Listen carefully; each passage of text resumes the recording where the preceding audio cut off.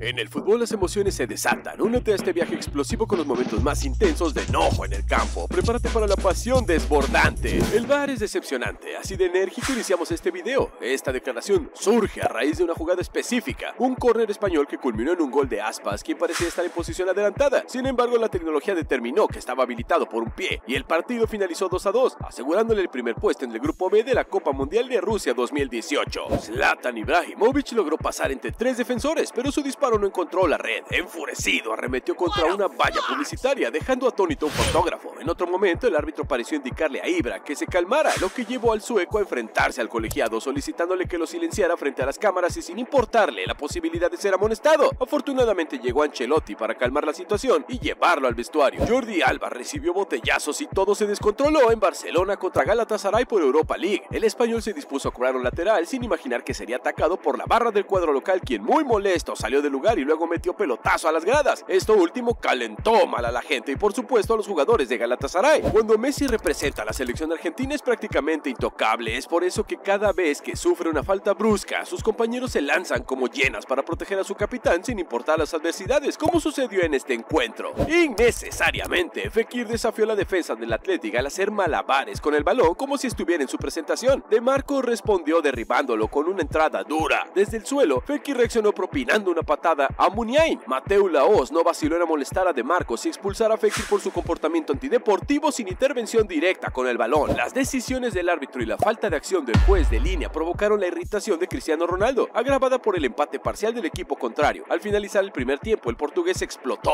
y le gritó al asistente arbitral ¡Despierta! Posteriormente empujó a un colaborador de la organización. Fue un martes de furia para Cristiano Ronaldo. En el Barcelona, Dani Alves es sustituido y en su lugar entra Adriano. Sin embargo, al parecer al brasileño no le agradó en absoluto abandonar el terreno de juego. El enojo de Cavani es porque no le pitaron dos penaltis a favor de Uruguay. Uno de ellos fue en contra de él y el juez central ni siquiera fue al bar a revisarlo. La frustración llevó a Edinson Cavani a hacer un gesto polémico. El por aquel entonces delantero del Valencia golpeó con fuerza al bar, que terminó en el piso tras la eliminación de Uruguay en la fase de grupos del Mundial de Qatar 2022. David Beckham estaba a punto de ejecutar un tiro libre cuando un jugador rival lo interrumpió con su patada. En respuesta, el inglés junto con Zlatan y Thiago Silva protestaron ante el árbitro por esta acción, pero no parecieron obtener ninguna respuesta. El sueco le recriminaba a los colegiados por aquella jugada diciéndole que ellos eran un chiste. Lukaku parece recibir una falta, o al menos eso cree ver Mourinho, que la reclama con mucha rabia. Por eso el entrenador portugués recibe su séptima expulsión desde su regreso a la Serie A, lo que le imposibilita estar contra el Milán. La cara de Dybala expresa un desconcierto, pero son cosas típicas de Mu. De seguro se acostumbra con el tiempo. La batalla de Lusail será recordada en la historia de los mundiales como uno de los encuentros más intensos, con un ambiente propio de la Copa Libertadores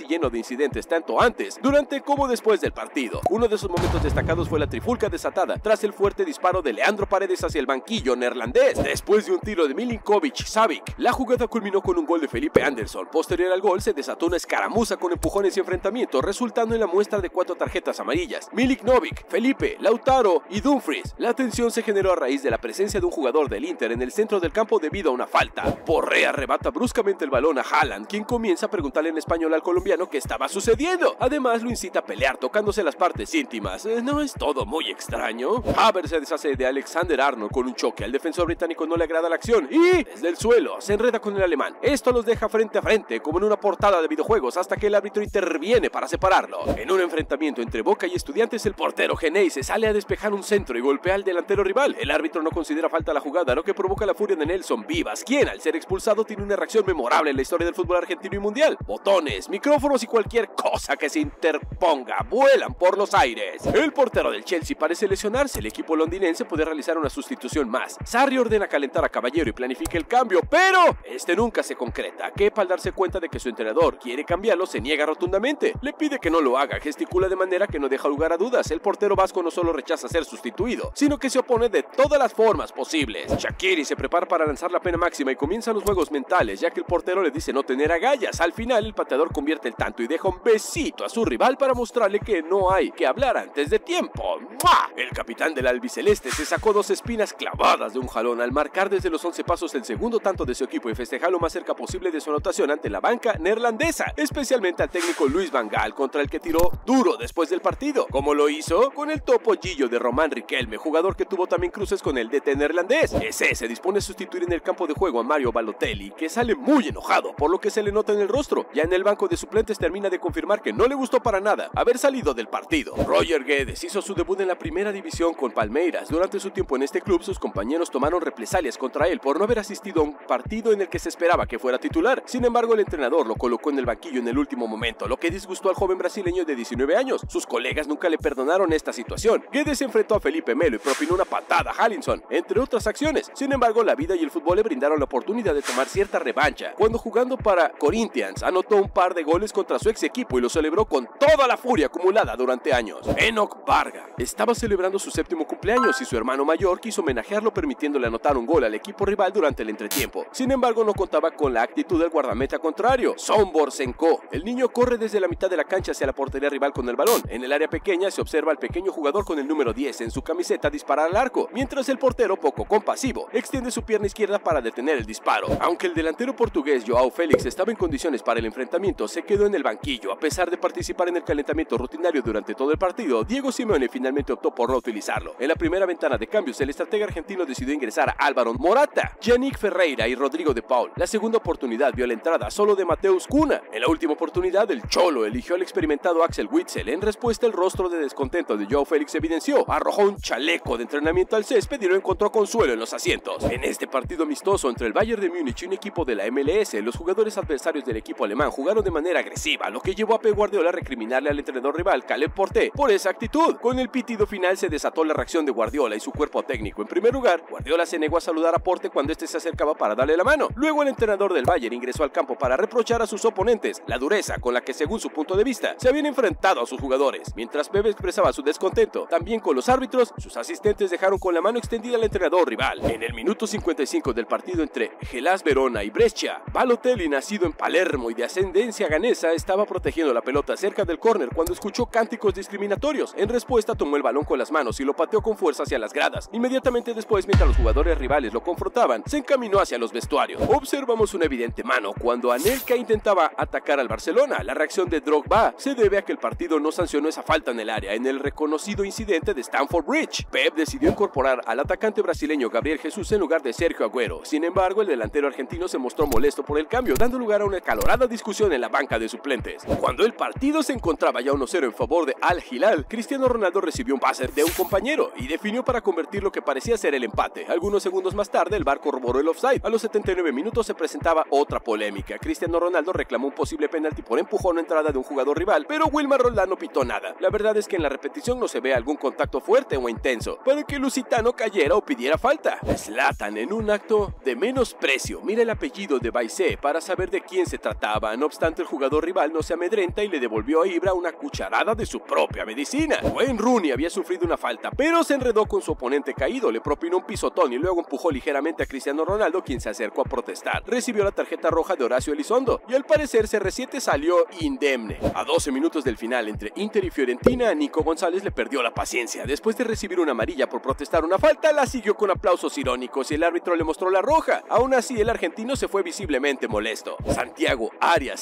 celebraba su partido número 100 con la camiseta del PSB. En una jugada quizá demasiado arriesgada, recibió la tarjeta roja del árbitro. La frustración del colombiano fue evidente, siendo calmado por un asistente, pero no pudo contener su ira y golpeó un cristal, el cual se rajó de inmediato. Cerca del final del enfrentamiento entre Juventus e Inter con un marcador de 1 a 1, Icardi decidió no pasarle la pelota a su compañero Daniel Osvaldo y eligió el camino del morfón. La irritación del otro argentino no se hizo esperar. Gurkin tuvo que intervenir para evitar confrontaciones. Lautaro Martínez, exjugador de Racing, recibió la segunda amonestación y tarjeta roja por reclamar airadamente una falta no sancionada. Lautaro se encaró con el árbitro y tuvo que ser retirado por su compañero Nicolo Varela. Fabio Cuentrao también mostró su frustración de manera infantil al ser amonestado por el árbitro y, tras el gol de victoria de Setúbal, Cuentrao salió por Doumbia, desahogando su enojo en el banquillo. Al parecer no estaba teniendo un buen día y esa sustitución fue la gota que colmó el vaso. Ibrahimovic agredió el lateral izquierdo del equipo rival, Michael Petrazo, el exjugador del Manchester United, PSG y Barcelona, entre otros, respondió con un puñetazo en la nuca un pisotón de su contrincante, que en las imágenes parece haber sido sin intención. El árbitro revisó la jugada de la pantalla y al ver la agresión sin pelota del atacante sueco, decidió mostrarle la tarjeta roja directa. Graciano Pelé tiene serios problemas con las sustituciones, o al menos eso demuestra al salir de la cancha destrozado todo a su paso. Ese temperamento fue lo que le causó su expulsión de la selección italiana. El Real Madrid recibe un penal a su favor. Antes de que Cristiano Ronaldo lo ejecute, un oponente daña deliberadamente el punto del penal, lo que lleva a que Cristiano le lance la pelota como señal de protesta. Este incidente desató un altercado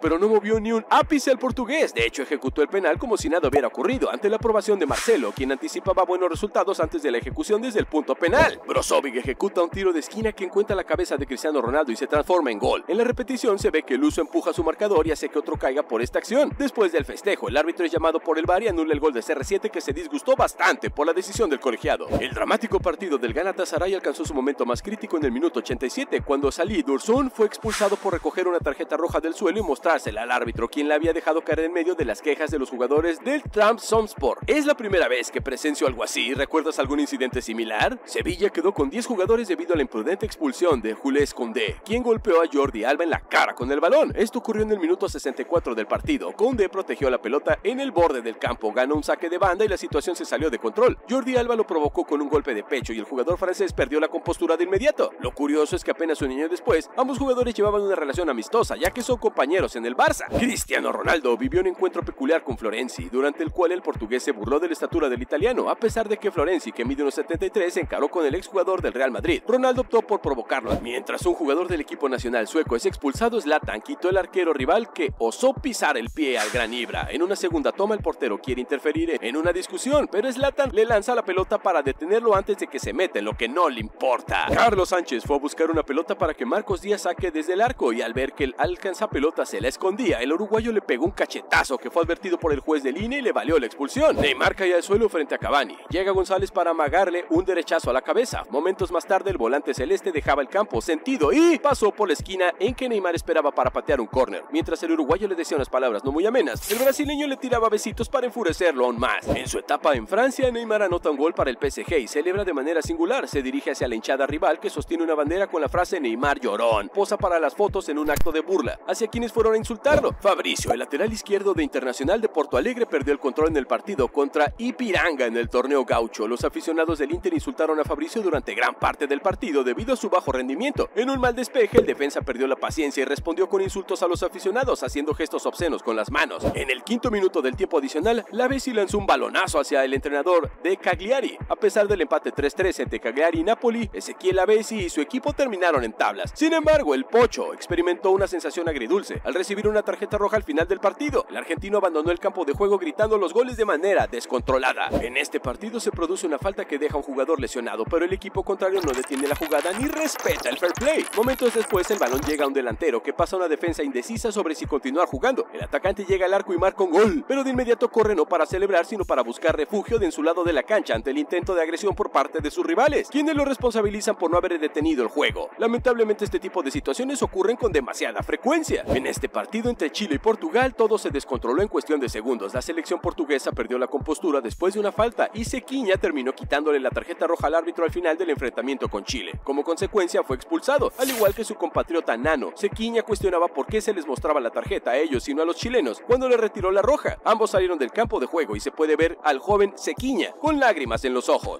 Al finalizar el primer tiempo entre Tottenham y Everton, se dio una situación extraña. Hugo Lloris salió corriendo en busca de su compañero Seo Heung-min para reprocharle que concedió una chance de gol al rival. De allí la famosa frase ¡Corre por el equipo! El mediocampista del Juventus Bucarest, George Kalintaru, intentó picarle un penal al arquero rival y este no solo lo atajó, sino que la jugada desató una serie de problemas posteriores, una pelea con los compañeros, la renuncia de su entrenador y hasta un dedo fracturado. Fueron las consecuencias de aquel tiro errado. En este penal, los juegos mentales parecieron no funcionar, ya que el pateador disparó con cuerpo y alma para luego salir a festejar el tanto en la cara del portero, antes de hacerlo con su fanaticada. Las cosas del fútbol. Cuando más estaban acechando el Atleti, Felipe, el central rojiblanco, cometió esta imprudencia que le costó la expulsión y cambiar el rumbo de los minutos finales. Todo el mundo en las gradas lo vio al igual que el árbitro que lo expulsó y lo envió a los vestuarios muy enojado. Ese día puede que Mbappé se haya levantado de malas, de otra forma no se explica el motivo de esta falta. La amarilla estuvo bien ganada, por más que haya puesto esa carita de yo no fui.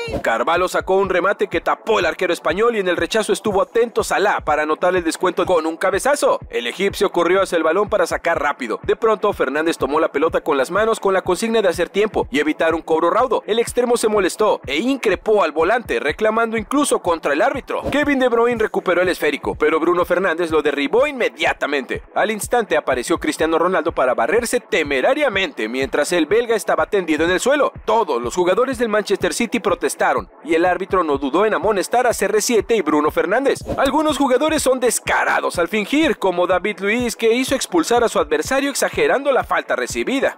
debería ser actor. Ashley Barnes, futbolista del Burnley, besó en dos ocasiones en la nariz al jugador del Cardiff City, Joe Bennett. Durante un momento de bronca, el futbolista de los Clarets fue amonestado por el árbitro tras este peculiar hecho. Cristiano Ronaldo quiso ir en busca de esta pelota alta, pero cuando encontró a alguien en su camino, no dudó en darle una técnica de lucha libre. Ahora entiendo los rumores de que la WWE lo quiere contratar. Eh, se excusó diciendo que el otro fue quien comenzó. Cuando Sergio Ramos quiso reventar la pelota, se encontró con la falta de Leo Messi que llegó a toda máquina. El colegiado amonestó al argentino que había encendido el clásico español. La máquina que detuvieron fue la de Mbappé cuando iba a toda velocidad y se topó con una barrida que lo dejó por el piso. Di María y compañía reclamaban una tarjeta aquella eficaz falta, aunque el 7 salió visiblemente adolorido. Si llegaste hasta aquí, no hagas que nos enojemos y suscríbete al canal para que puedas disfrutar de momentos que son uno en un trillón.